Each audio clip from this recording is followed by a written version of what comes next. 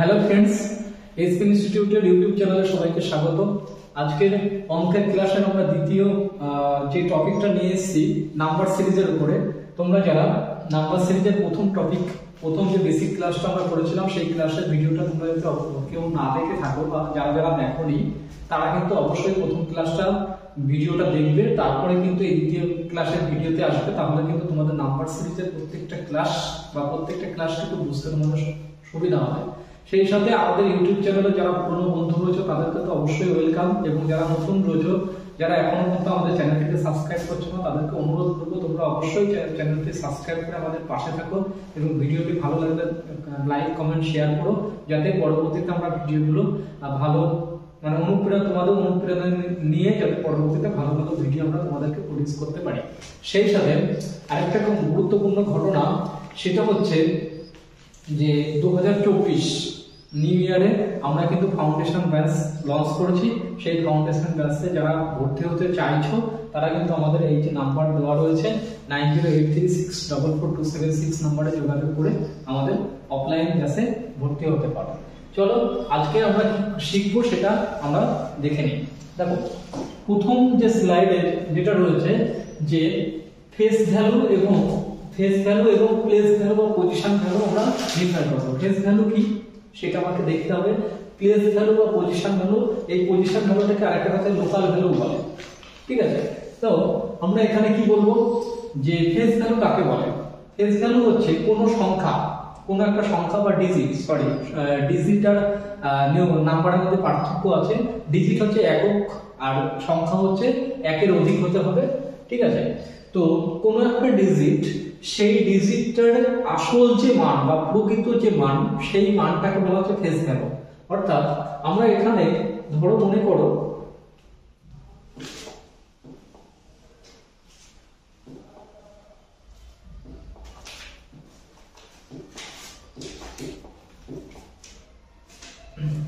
আমরা মনে করি যে জিরো জিরো একটা আমরা ডিজিট হিসাবে কাউন্ট করতে পারি। এই জিরোর প্রকৃত মান কি? জিরোর প্রকৃত মান আমরা জিরোই নিতে পারি। তাছাড়া তো কিছু বলতে পারি না। ওয়ান ওয়ানটাকে আমরা কি বলতে পারি? ওয়ানটাকে আমরা ওয়ানই বলতে পারি। অর্থাৎ কোনো ডিজিটের যখন প্রকৃত মান, মানের কোনো চেঞ্জ হয় না। ফেস ভ্যালু কি? ফেস ভ্যালু হচ্ছে যে সংখ্যা বা যে ডিজিটটা বলবে, সেই ডিজিটের প্রকৃত মান কোনোভাবেই কিন্তু চেঞ্জ হবে না। ভালো করে বুঝে রাখবে যে কোনো কোনো সময় কিন্তু চেঞ্জ হবে না। যদি তোমাকে কোশ্চেনে যায় যে আটের ফেজ ভ্যালু কত? আটের ফেজ ভ্যালু কত? তাহলে আটের ফেস ভ্যালু আটের মান আটের মতনই কারণ আটটাকে তো আমরা চেঞ্জ করতে পারব না। আটটাকে তো আমরা নয়ও লিখতে পারব না। আর আটটাকে দেখতে কার মতো? আটের মতনই। ঠিক আছে? সেই জন্য আমরা ফেজ ভ্যালু বাংলায় বলা হচ্ছে প্রকৃত মান। ঠিক আছে? এই ফেজ ভ্যালুটা কি জন্য আসলো? বা ফেস ভ্যালু আমরা কেন নিয়ে আসলাম কারণ যে প্লেস ভ্যালু বা পজিশন ভ্যালু তৈরি করতে গেলে ফেস ভ্যালুটা আমার লাগবে? ঠিক আছে? তাহলে প্লেস ভ্যালুটা কি? প্লেস ভ্যালুটা হচ্ছে বা পজিশন ভ্যালুটা হচ্ছে যখন একগুচ্ছ ডিজিট দিয়ে একটা সংখ্যা বলে দেওয়া থাকবে, সেখান থেকে একটা ডিজিটকে ইন্ডিকেট করে বলবে যে ওই ডিজিটটার প্লেস ভ্যালু বা স্থানীয় মান কত, সেটা আমাকে বার করতে হবে। আমাদের স্থানীয় মান বার করতে বললে আমাদের কিছু একটুখানি ব্যাকডেটেড হতে হবে আমাদের পুরনো যে মানে পুরনো মেমোরিতে যেটা আমরা অতীতে জেনে এসেছি, সেই জিনিসটাকে আমাকে রিমেম্বার করতে হবে। কি? যে ছোটবেলায় আমরা যখন অঙ্ক শিখতাম, তখন প্রাইমারি স্কুলের মাস্টারমশাইরা বা বাড়িতে বাবা মা যখন অঙ্ক শেখাতে তখন একটা কথা বলতো যে অঙ্কের দশ মানে একের পরে দশ থেকে এক থেকে দশ পর্যন্ত কাউন্ট করতে গেলে কি করতে হয়? দশের পরে দশ থেকে একশো পর্যন্ত কাউন্ট করতে গেলে কি নিয়ে আসতে হয়? একশো থেকে হাজারে নিয়ে আসতে গেলে কোন ইউনিট নিয়ে আসতে হয়? সেগুলোকে আমার, আমরা মোটামুটি সবাই জানি। ঠিক আছে? সেটা কি প্রথমে আমরা যখন লিখতাম, ভালো করে মনে রাখবে যে একক দশক শতক, তারপরে হাজার, অযুত, লক্ষ, এইভাবে আমাদের যেতে হতো। প্রথমত আমরা কোটি পর্যন্ত যেতাম। ঠিক আছে, একক মানে কি? এককের ইংলিশ হচ্ছে ইউনিট। দশকের হচ্ছে টেন শতকের হচ্ছে হান্ড্রেড, থাউজেন্ডের হচ্ছে হাজারের হচ্ছে থাউজেন্ড। এইভাবে আমাদেরকে আনতে হলো ঠিক আছে? এবার এখানে কি বলছে আমার? যে প্লেস ভ্যালু বা পজিশন ভ্যালু পজিশন ভ্যালু বলতে এখানে যে সংখ্যাটা দেওয়া থাকবে, সেই সংখ্যাটা কোন পজিশনটাকে ইন্ডিকেট করছে, সেটা আমাকে দেখতে হবে। ফার্স্ট আমরা যদি একটু উদাহরণটা নেই, এই উদাহরণটা নিয়ে যাতে টোটালটাকে আমরা সমাধান করি, তাহলে তোমাদের বুঝতে সুবিধা হবে এবং টোটাল যে প্রবলেমটাকে প্রবলেমটা কিন্তু ক্লিয়ার হয়ে যাবে। দেখো, প্রথম কি বলছে? যে সিক্স এইট সেভেন টু এই সংখ্যাটার ভিতরে সেভেনটাকে ইন্ডিকেট করে দিয়েছে সেভেনের প্লেস ভ্যালু কত বা সেভেনের পজিশন ভ্যালু কত। আমরা যদি এই সিক্স এইট সেভেন টু এই সংখ্যাটাকে লিখি, তাহলে আমরা অলওয়েজ কোন দিক থেকে লিখি? ডান দিক থেকে। ডান দিক থেকে আমরা সংখ্যা কোন দিকে আসি? বা দিকে। তাহলে ডান দিকে প্রথম সংখ্যা হচ্ছে সেভেন তারপর হচ্ছে টু তারপর হচ্ছে এইট তারপর হচ্ছে সিক্স তার মানে এই সংখ্যাটাকে আমরা বলতে পারি, যদি কথাই বলি, তাহলে বলতে পারি ছয় হাজার আটশো বাহাত্তর। ঠিক আছে ছয় হাজার আটশো বাহাত্তর। এখানে ইন্ডিকেট করে দিয়েছে কোনটা? সাত। অর্থাৎ সাতের কি বলেছে? সাতের প্লেস ভ্যালু বা পজিশন ভ্যালু বা লোকাল ভ্যালু কি আছে, সেটাকে আমাকে বার করতে হবে। তাহলে সাত, এই যে সেভেন এই সেভেনটা কোন ইউনিটে দাঁড়িয়ে আছে? দেখো কোন ইউনিটটাকে লক করছে? সেটা যে দশকের ইউনিটটাকে লক করছে। দশকের ইউনিট যেটা, দশকের ইউনিটের সর্বনিম্ন মান কত? টেন। দশকের ইউনিটের সর্বনিম্ন মান কত? টেন। তাহলে এখানে দশকের ইউনিটে সাত লক হচ্ছে তাহলে সেভেন নিজে, তার সাথে আমরা কি করব? সর্বনিম্ন যে ইউনিটটাকে সেটা গুণ করে দেবো। তাহলে কত হচ্ছে? সেভেন্টি। অর্থাৎ সাতের প্লেস ভ্যালু আমাদের অ্যান্সার কত হলো? সেভেন্টি। বোঝাতে পারলাম? সাতের প্লেস ভ্যালু তাহলে কত হলো? সেভেন্টি কি করে পেলাম? সেভেনটাকে লক করছে কোন ইউনিটে দশকের ইউনিটে দশকের ইউনিটে সর্বনিম্ন মান কত? আমরা জানি দশ। কারণ দশকের ইউনিট আমরা দশ থেকেই শুরু করি, সেটা চলে কত মতো নিরানব্বই পর্যন্ত। ঠিক আছে? অর্থাৎ দুই অঙ্ক। ঠিক আছে? দুই অঙ্কের সর্বনিম্ন হলো টেন সেখান থেকে আমরা তাহলে টেনটাকে লক করলাম কতবার? সাতবার। তাহলে টোটাল কত হচ্ছে? সাতের স্থানীয় মান সত্তর। ক্লিয়ার তাহলে যদি এখান থেকে কোশ্চেন এই কোশ্চেনটা আরেকটু পরের কোশ্চেনটা দেখো, কি বলেছেন? পরের কোশ্চেনটা বলেছে যে seven zero nine eight four এখানে জিরোর প্লেস ভ্যালু কত? জিরোর প্লেস ভ্যালু কত? এখানে মনে রাখবে, যখন জিরো বলবে জিরো বলবে না, তখন জিরোর প্লেস ভ্যালু সে জিরো যেখানেই থাকুক না কেন জিরোর প্লেস ভ্যালু অলওয়েজ জিরো হয়। ঠিক আছে? জিরোর জিরোর হচ্ছে বা শূন্যর প্লেস ভ্যালু বা স্থানীয় মান অলওয়েজ সব সময় শূন্য হবে। শূন্য কিন্তু, শূন্যকে অন্য কোনো সংখ্যা দিয়ে গুণ করলে কিন্তু গুণফল চেঞ্জ হয় না। সেটা শূন্যই হয়, সেটা তোমরাও জানো, সবাই ঠিক আছে? অর্থাৎ এখানে কোশ্চেন দেয় যে শূন্যর প্লেস ভ্যালু তাহলে আমরা কত লিখতে পারি? শূন্য। ঠিক আছে? এখানে যদি বলে সাতের প্লেস ভ্যালু আমরা কত পেলাম তাহলে? সেভেন্টি ঠিক আছে?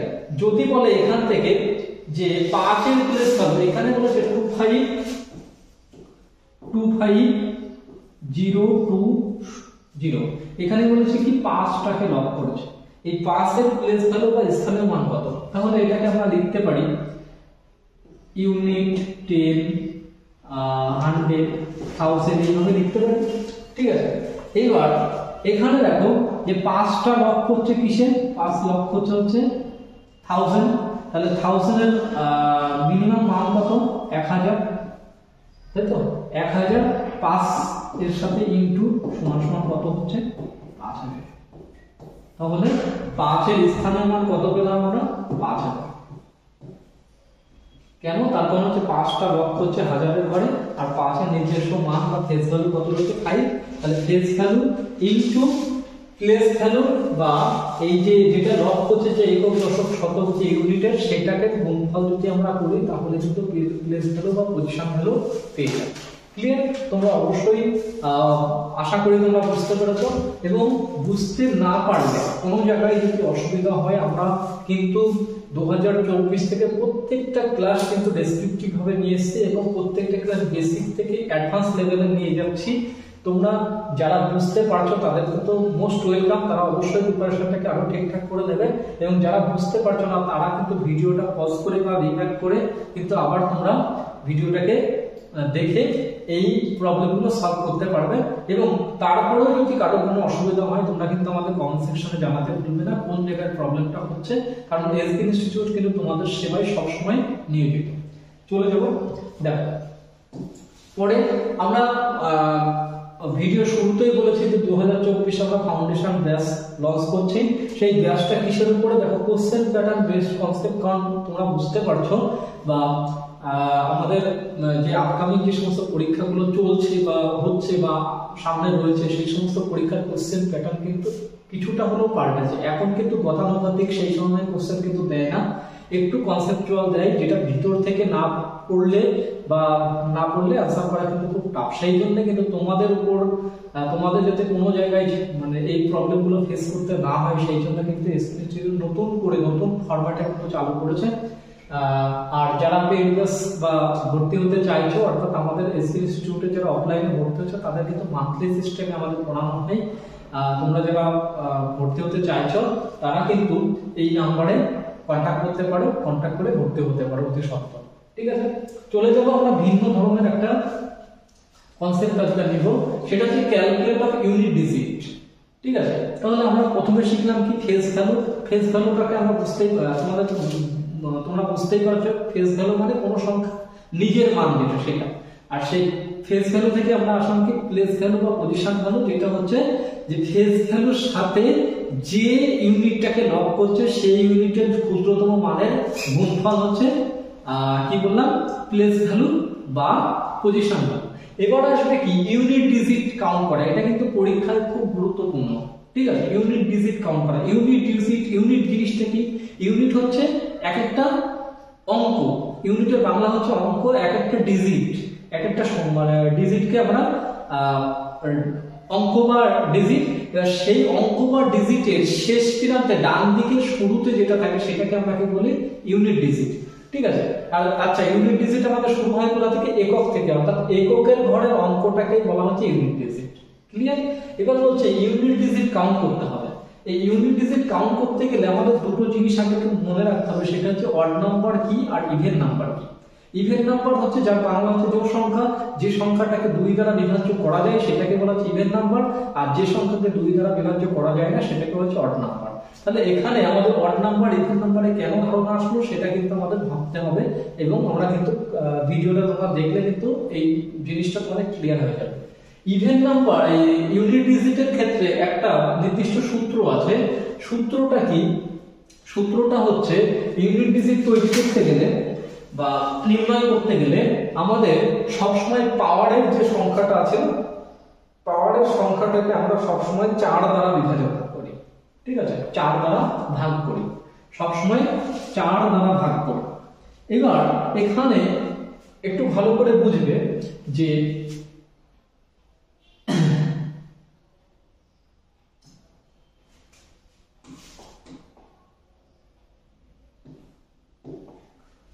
দেখো ওয়ান টু নাইন পর্যন্ত ওয়ান টু নাইন পর্যন্ত ইভেন সংখ্যা কোন, কোনগুলো আছে?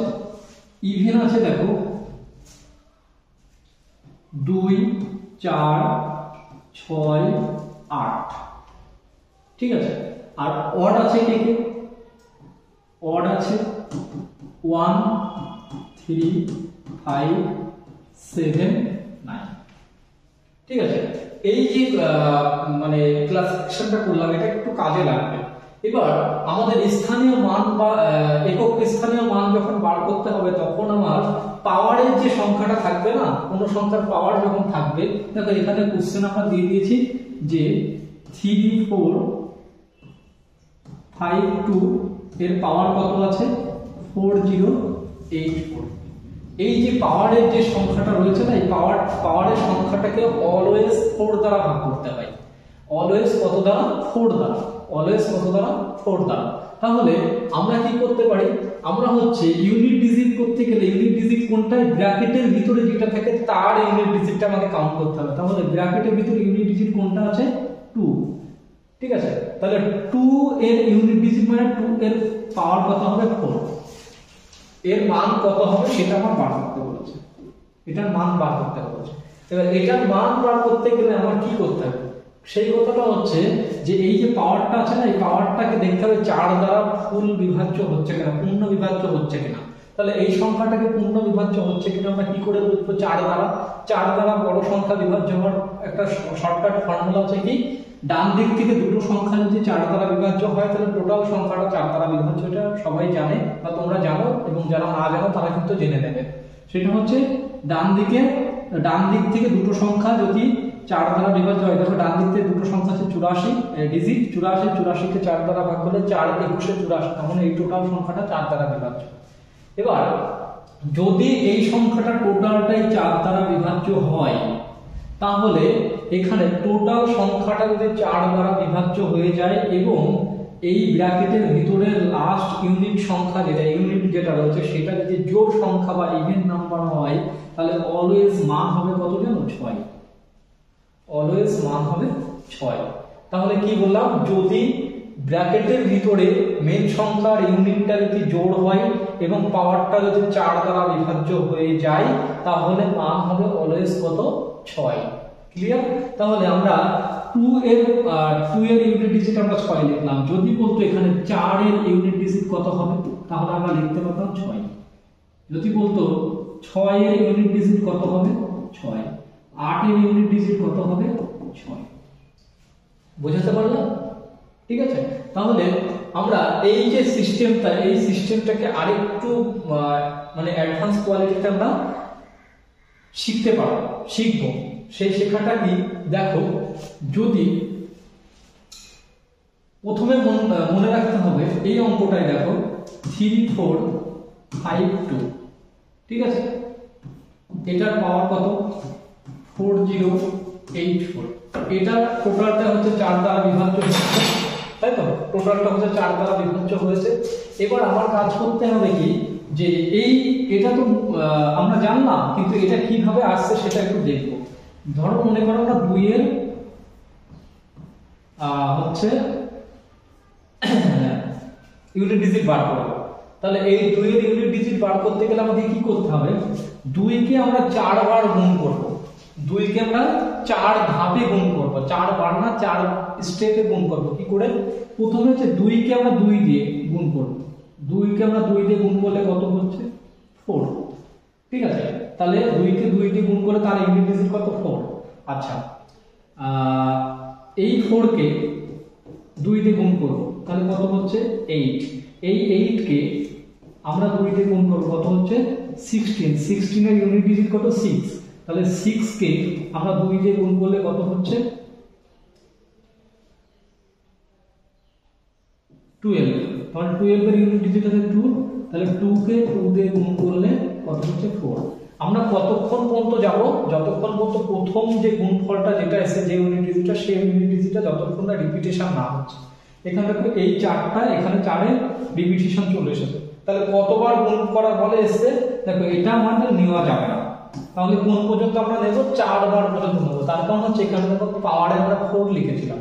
ঠিক আছে? এইখানে আমরা চারবার পর্যন্ত নেব। ঠিক আছে? এবার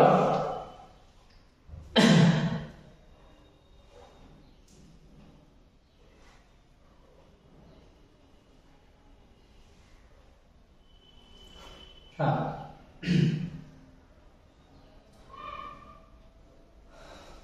আচ্ছা। হলো এবার এখানে দেখো। এখানে দেখো যে এই জায়গাটায় আমরা কি করব?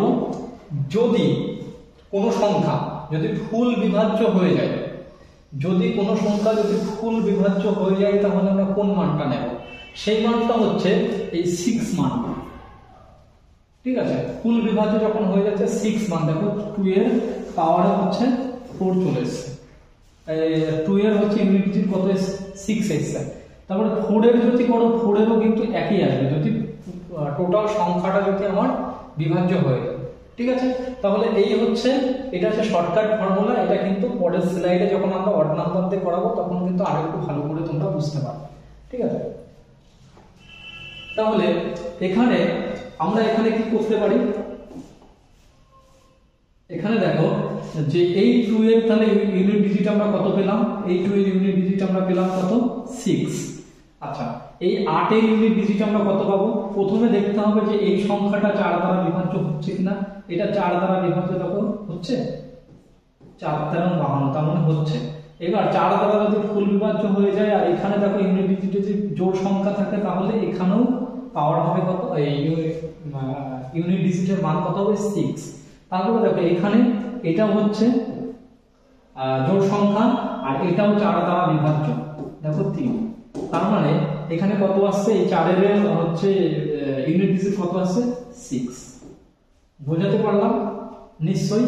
তারপর এখানে মনে রাখতে হবে সিক্স কখন আসবে? যখন পাওয়ারের পাওয়ারটা চার দ্বারা ভাগ করা যাবে এবং যে সংখ্যাটার ইউনিট ডিজিট বার করতে বলছে বা যে ডিজিটটা সেটা যদি জোড় সংখ্যা হয়, তাহলে অলওয়েজ কত হবে?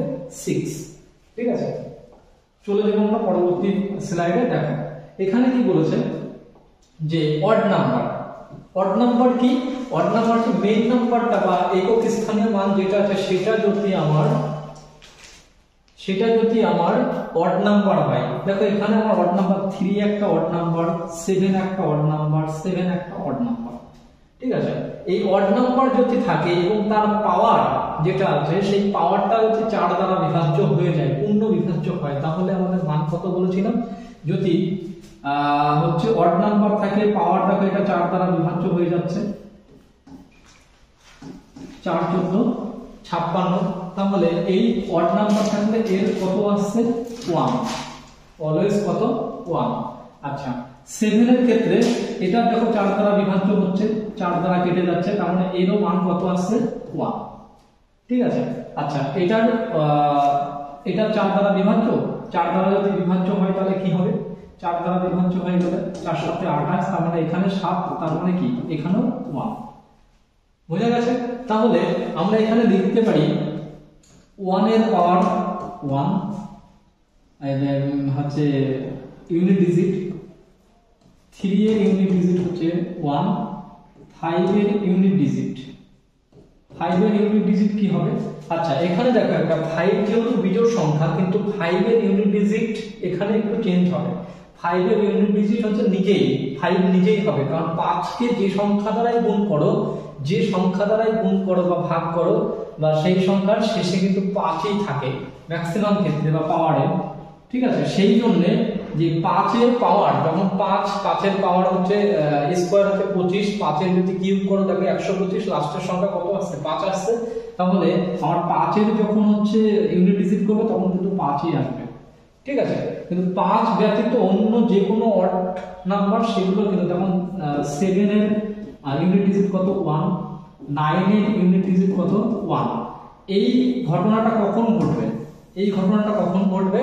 যখন পাওয়ারগুলো চার দ্বারা বিভাজ্য হয়ে যাবে। ফুল বিভাজ্য হবে, তখন কিন্তু মানগুলো হবে সেম শুধু কারও কে বাদে ফাইভ বাদে। ফাইভের ক্ষেত্রে অলওয়েজ ফাইভ অলওয়েজ ফাইভ ঠিক আছে, তাছাড়া একের ক্ষেত্রে এক, তিনের ক্ষেত্রে এক, সাতের ক্ষেত্রে এক, নয়ের ক্ষেত্রে ক্লিয়ার এই ব্যাপারটা?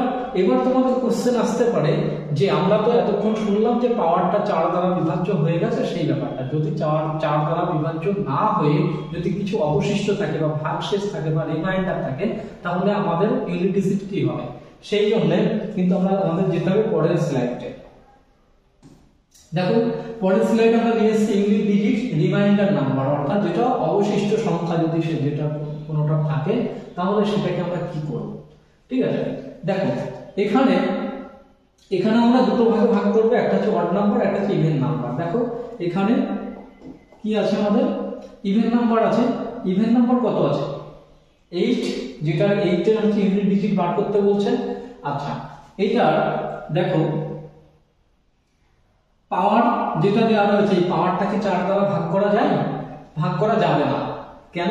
এবার আমরা বুঝব কি করে? ধরো তেরোশো পঁচাত্তর, এই সংখ্যাটা অনেক বড় সংখ্যা আমাদেরকে ভাগ করতে গেলে অনেকটা টাইম লেগে যাবে, যেটা কম্পিটিটিভ পরীক্ষার ক্ষেত্রে খুব সমস্যার ব্যাপার। এবার আমাদের একটুখানি যদি শর্ট ট্রিক্স মেনটেন করা যায়, চার দ্বারা ভাগ করার ফর্মুলা কি? যে সেটা হচ্ছে লাস্ট দুটো সংখ্যা যদি চার দ্বারা বিভাজ্য হয়ে যায়, তাহলে আমাদের কিন্তু ফুল সংখ্যাটা চার দ্বারা বিভাজ্য হয়ে যাবে। তাহলে আমাদের এখানে লাস্ট চার হচ্ছে দুটো সংখ্যা কত হচ্ছে পঁচাত্তর। পঁচাত্তরকে চার দ্বারা ভাঙা যাচ্ছে না। এখানে যদি আমরা ইয়ে করি, চার দ্বারা, তাহলে পঁচাত্তর। এখানে এক দিয়ে চার, পঁয়ত্রিশ, চার নয়, ছত্রিশ, চার আটে বত্রিশ।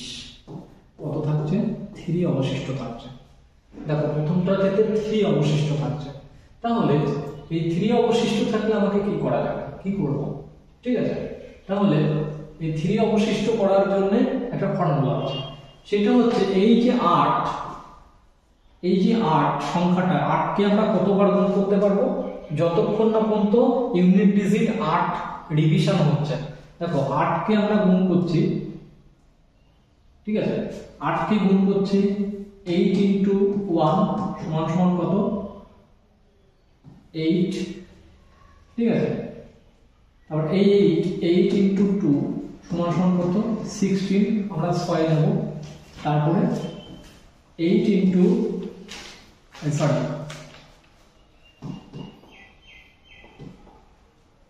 আমরা ছয় নিলাম এখান থেকে। সিক্সটিন ইন্টু এইট ঠিক আছে? তাহলে আমরা কত পাচ্ছি এখান থেকে?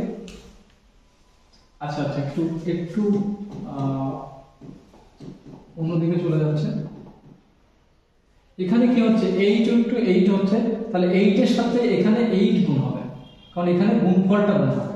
কার সাথে? মেন নাম্বার সাথে। তাহলে চৌষট্টি, আট আটে চৌষট্টি চৌষট্টি থেকে চার নেব। তাহলে এই চারের সাথে আবার এইট গুণ হবে। চার আটে বত্রিশ বত্রিশের দুই নেব। তারপরে আবার কি হচ্ছে? এই দুইয়ের সাথে আট গুণ, তারপরে ষোলো মানে সিক্স এই ঘটনাটা ঘটালাম, ঠিক আছে? এবার দেখো, যদি মিলে যায়, যদি টোটালটা মিলে যেত, তাহলে জোড় সংখ্যায় মিলে যেতে আমরা কত ধরেছিলাম? ছয়।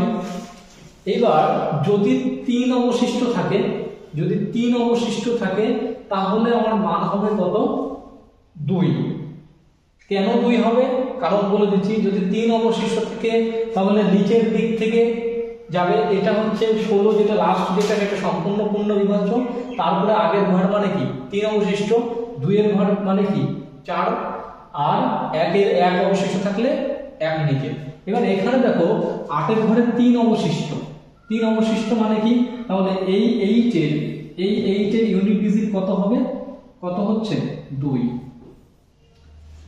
ঠিক আছে? এবার এই ঘটনাটা কেন কি করে ঘটছে?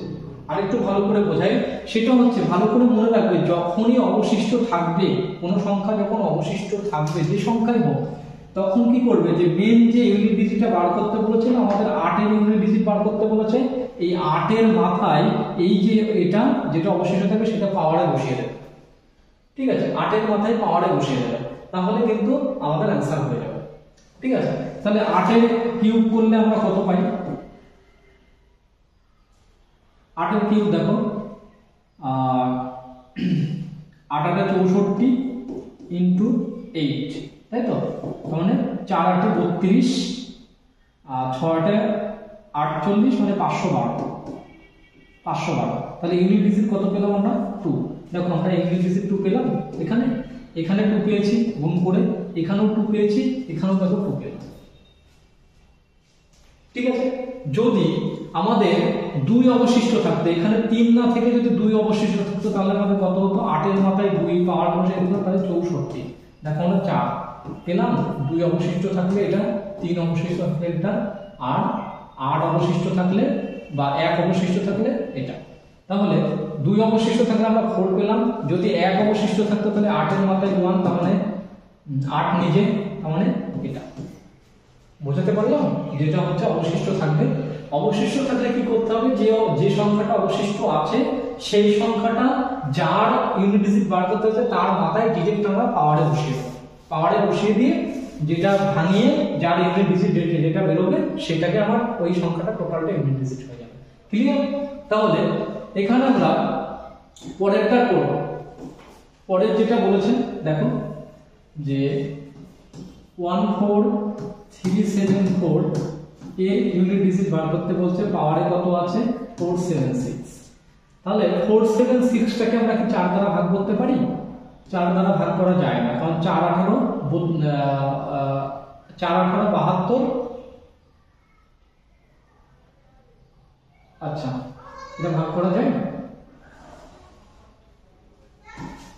ছিয়াত্তর ভাগ চার এক হ্যাঁ যায়, চার উনিশে ছিয়াত্তর।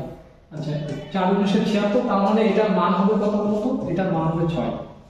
ঠিক আছে? এটা টোটালটা ভাগ করা গেল।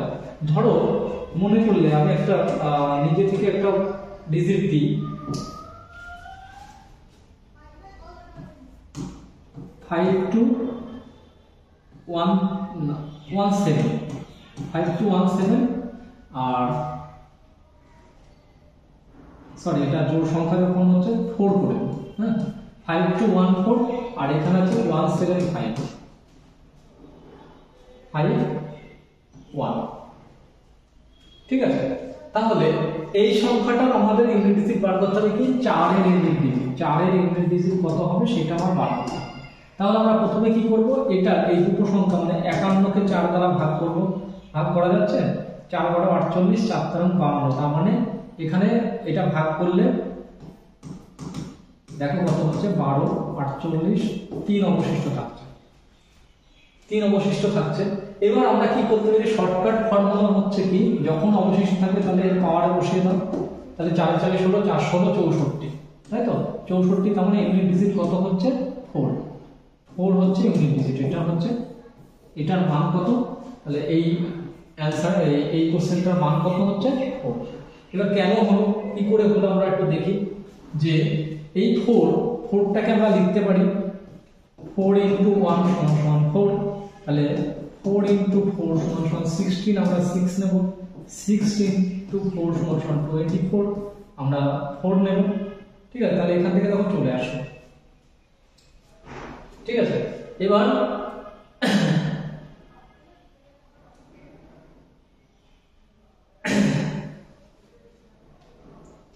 বুঝাতে পারলাম? তাহলে দেখো এখানে আমার কত আসলো? ফোর আসলো ফোর আসলো। যদি মিলে যায়, তাহলে এটা আমরা নিতে পারব না। এই ফোর যতক্ষণ চলে এসছে, এটা নিতে পারব না। তাহলে মিলে গেলে আমার কত এসেছিল? ছয়, আমরা বলে দিয়েছিলাম মিলে গেলে ছয় হবে। আর যেটা অবশিষ্ট থাকবে, অবশিষ্টর জন্য আমরা চার পাবো ঠিক আছে? তাহলে এখানে দেখো, তিন অবশিষ্ট ছিল। তিন অবশিষ্ট ছিল, তিনের জন্য চার পাবো। যদি দুই অবশিষ্ট থাকে, তাও চার পাবো। যদি এক অবশিষ্ট থাকে, তাও চার পাবো। আর যদি মিলে যায়, তাহলে শুধু ছয় পাবো। ক্লিয়ার আচ্ছা নেক্সট এটা দেখো, এই কোশ্চেনটা যে এখানে অড নাম্বার নিয়েছে। অড নাম্বার কোথায়? অড নাম্বার হচ্ছে, এখানে পাওয়ারটা আমরা দেখো অড নাম্বার নিয়েছি। আর এখানে এই সংখ্যাটা চার দ্বারা বিভাজ্য হবে না, এমন একটা সংখ্যা। ধরো আমরা two three zero seven two three এটার নিয়েছে হচ্ছে two zero nine five seven তাহলে এটা কি? এটা হচ্ছে অড নাম্বার তাই তো? অড আচ্ছা এবার প্রথমে দেখব এটা ভাগ করা যাচ্ছে কিনা। চার, চোদ্দ, ছাপ্পান্ন, তার মানে এটা ভাগ করলে এক অবশিষ্ট থাকছে। এক হচ্ছে রিমাইন্ডার এক রিমাইন্ডার ঠিক আছে? তাহলে এক রিমাইন্ডার থাকলে কি করা যাবে এক রিমাইন্ডার থাকলে? এক রিমাইন্ডার যখন থাকবে, তখন আমার কি হবে? অ্যান্সার তাহলে আমরা এখান থেকে দেখতে পারি, দেখো, আমরা যদি এই যে এক রয়েছে, এই একটা তিনের মাথায় এক ইয়ে করে দাও পাওয়ার দিয়ে দাও, তাহলে কত হচ্ছে? তিন অ্যান্সার হচ্ছে। তিনের মাথায় পাওয়ার করলে তিনেরকে তিন। ঠিক আছে? তাহলে আমার এখানে অ্যান্সার হচ্ছে কত? তিন। এবার এটা বেরোয় কিনা দেখো তো, যে তিনটাকে আমরা ভাঙবো থ্রি ইন্টু ওয়ান সমান সমান থ্রি আচ্ছা থ্রি ইন্টু থ্রি সমান সমান নাইন নাইন ইন্টু থ্রি সমান সমান টোয়েন্টি সেভেন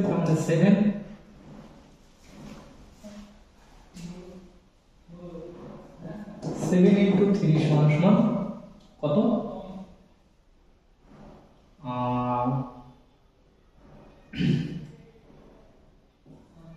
ওয়ান তাহলে দেখো ওয়ান ইন্টু থ্রি সমান সমান থ্রি তার মানে এটা নেওয়া যাবে না। এবার দেখো কত হচ্ছে আমার ওয়ান রিমাইন্ডার হচ্ছে ওয়ান রিমাইন্ডার মানে কোন- কোনটা? এটা। প্রথমটা। তাহলে ওয়ান রিমাইন্ডার দেখো কত মান এসেছিল? থ্রি আমার এখানে থ্রি এসছে থ্রি চলে এসছে। তাহলে কিন্তু আমাদের টোটাল হচ্ছে থ্রি মান চলে এসেছে। ক্লিয়ার নেক্সট স্লাইডে কি আছে দেখো? নেক্সট স্লাইডে আমরা পাচ্ছি যে আমি এতক্ষণ ধরে যে সমস্ত ভিডিওগুলো মানে যে ক্যালকুলেশনগুলো করলাম, সেই ক্যালকুলেশনে কিন্তু একটা ওভারঅল ভিউ নিয়ে চলে এসেছে। ক্লিয়ার সেটা দেখো যে ইউনিট ডিজিটের ক্ষেত্রে শর্ট ট্রিক্স কি আছে? যেটা এতক্ষণ বললাম, সেটা এখানে লেখা আছে। কি বলছে? ইভেন নাম্বারের ক্ষেত্রে বা যোগ সংখ্যার ক্ষেত্রে পাওয়ার যদি চার দ্বারা পূর্ণ বিভাজ্য হয়, তবে ইউনিট ডিজিট সর্বদা ছয় হবে। ঠিক আছে? যদি ইউনিট ইভেন নাম্বার যদি যেটা বার করতে হচ্ছে সেটা যদি ইভেন নাম্বার হয় এবং তার পাওয়ার যদি চার দ্বারা হয়, তাহলে সেটা কিন্তু সর্বদা ছয় হবে। ক্লিয়ার এবং এখানে উদাহরণগুলো বলে দিয়েছে। দেখো, যদি যে যার ইউনিট ডিজিট বার করতে হলো সেটা দুই হয়, চার হয়, ছয় হয়, আট হয়, তাহলে তার অলওয়েজ কত হবে? ছয় হবে। অলওয়েজ ছয় হবে। এখানে কন্ডিশন কি? কন্ডিশন হচ্ছে পাওয়ারটা চার দ্বারা পূর্ণ বিভাজ্য হতে হবে। এবার যদি নাম্বারগুলো যদি অড হয় অড নাম্বার হয় এবং পাওয়ার যদি চার দ্বারা বিভাজ্য হয়ে যায় পূর্ণ, তাহলে তখন সব ক্ষেত্রে কত হবে? সব ক্ষেত্রে ইউনিট ডিজিট ওয়ান হবে। এটা ভালো করে মনে রাখবে। যত, যেটা এতক্ষণ ধরে বললাম, সেটা কিন্তু সামারাইজ করা। ঠিক আছে? তাহলে অড নাম্বার কি? অড নাম্বার কি ওয়ান থ্রি সেভেন নাইন এইগুলো যদি থাকে। আর আরেকটা কথা যে, এখানে জিরো ওয়ান ফাইভ সিক্স এর ক্ষেত্রে কিন্তু ইউনিট ডিজিট অপরিবর্তিত থাকে। ঠিক আছে? কেন বললাম? তার কারণ হচ্ছে দেখো, জিরোর ক্ষেত্রে জিরো ফাইভের ক্ষেত্রে আমরা তো বললাম ফাইভই হয়। ওয়ানের ক্ষেত্রে কি হয়? ওয়ানের ক্ষেত্রে অড নাম্বার ওয়ান দেখো এটাই বলে দিয়েছে ওয়ান আর সিক্স এর ক্ষেত্রে সিক্স হয়। তাহলে এটা কি অপরিবর্তিত থাকল না? এই অপরিবর্তিত থাকল না? থাকল। আর নেক্সট কি বলেছে? লাস্ট যেটা, যদি পাওয়ার চার দ্বারা বিভাজ্য হওয়ার পর ভাগশেষ থাকে বা রিমাইন্ডার থাকে, তাহলে ভাগশেষটি ইউনিট ডিজিটের পাওয়ার হয় আমি বলেই দিলাম এতক্ষণ লাস্টে যখন বলছিলাম তখন পড়ছিলাম না যে যে টু যদি থ্রি যদি রিমাইন্ডার থাকে, আর টুর যদি হচ্ছে ইউনিট ডিজিট বার করতে হবে তাহলে টু এর পাওয়ার করে দিচ্ছিলাম থ্রি তাহলে কত হচ্ছে এইট ক্লিয়ার তাহলে এই এই স্লাইডটা কিন্তু তোমাদের অবশ্যই খুব গুরুত্বপূর্ণ একটা স্লাইড এবং এটা কিন্তু মানে হেল্প করবে তোমাদেরকে অঙ্কগুলো বোঝার এবং ঠিকঠাক করে করা আমরা আজকে আমাদের ক্লাসটা কিন্তু এই পর্যন্তই ছিল। আমরা পরবর্তী ক্লাস আবার নিয়ে আসব। ইউনিট ডিজিটের উপরে আরও ক্লাস আছে সেইগুলো কিন্তু আমাদের চ্যানেলে কন্টিনিউয়াসলি আপলোড হবে। তোমরা যারা আমাদের ভিডিওটা দেখছ বা দেখেছ বা দেখতে চাইছো, তারা কিন্তু অবশ্যই আমাদের ভিডিওটা লাইক শেয়ার এবং কমেন্ট করে রাখবে। পরবর্তীতে ভিডিওগুলো পাওয়ার জন্য। থ্যাংক থ্যাংক ইউ সবাইকে। আমাদের সাথে থাকবে